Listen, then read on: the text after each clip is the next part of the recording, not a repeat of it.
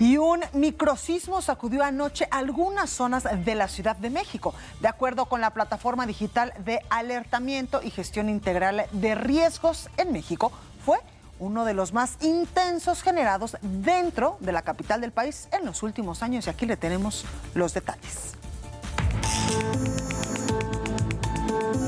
A las 22 horas con 20 minutos de la noche de este 10 de mayo se registró un sismo magnitud 3.0 a 3 kilómetros al noreste de la alcaldía Magdalena Contreras con un kilómetro de profundidad.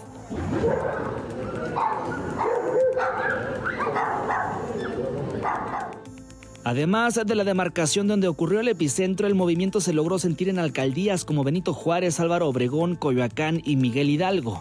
A través de las redes, usuarios expresaron su molestia porque la alerta sísmica no sonó. Sin embargo, el C5 de la Ciudad de México reiteró a la ciudadanía que dicha alerta no se activa cuando el epicentro es dentro de la misma capital. Después de aplicar los protocolos correspondientes, la Secretaría de Gestión Integral de Riesgos y Protección Civil de la ciudad señaló no haber reportado incidentes derivados de este sismo. Pero ¿por qué se sintió más fuerte en algunas zonas? El Centro de Divulgación Sismo Alerta Mexicana recordó a capitalinos que a pesar de ser un sismo de baja magnitud, puede ser percibido fuertemente y acompañado de un estruendo gracias a la cercanía de la onda sísmica. Antonio Anistro, Heraldo Media Group.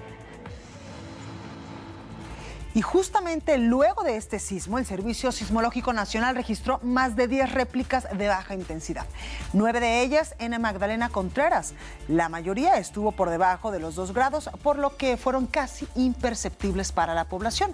El más reciente tuvo una magnitud de 2.2. Vamos con mi compañero Gerardo Galicia, quien está en la colonia Los Alpes, en la alcaldía Álvaro Obregón. Esto por eh, presuntos daños en la zona tras estos microsismos. Eh, Gerardo, adelante con el reporte. Así me queda Blanca, excelente tarde. Y luego de esta serie de microsismos que se registraron desde el día de ayer en la noche y la mañana de este jueves, ya algunos de los vecinos de la alcaldía Álvaro Obregón han comenzado a notar daños en sus inmuebles. Estamos eh, ubicados justo en la zona surponiente de la capital y voy a dialogar con una de las vecinas. Señora, estamos transmitiendo completamente en vivo para la Televisión. ¿Qué, ¿Qué, daños son los que encontraron en su domicilio? Buenas tardes. Este, mire, ya se, ya se cuartió aquí, se cuartió anoche aquí a, a mis espaldas y también en, en, mi, en mi recámara, bueno, en mi, en mi cuarto donde me duermo.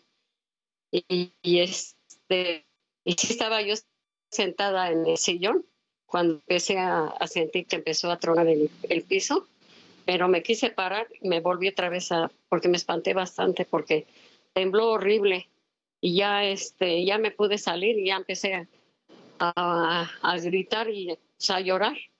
Sí. Pero ahora sí que es la primera vez que yo siento un temblor así tan fuerte, porque en el 17 sí también sentí, pero no como ahora. Ahora fue una cosa espantosa. Sí. sí. ¿Han tenido contacto con autoridades de protección civil, policías? No, ahorita todavía no, porque este, pues ahora sí que nos vamos a esperar a que a que venga este la que está representante de la de la colonia. ¿Han hecho con sus vecinos? ¿También encontraron daños? Sí, sí, también. También encontraron daños y lo queremos reportar también.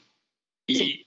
Muchísimas gracias. Y para nuestros amigos, Miguel Blanca, para las personas que detecten algún daño en su inmueble, los elementos de protección civil ya están haciendo recorridos en esta alcaldía Álvaro Obregón y el teléfono para contactarlos es el 55 55 16 05 61 y de esta manera personal especializado de protección civil puede acudir a los diversos domicilios para poder hacer un bueno, pues ahí lo tenemos, Gerardo Galicia. Muchas gracias desde la alcaldía Álvaro Obregón. Y es que pues lo acabamos de eh, pues, escuchar, ahí te tenemos, Gerardo, que ya hay afectaciones por este microsismo que se sintió sobre todo en varias alcaldías de la capital del país anoche.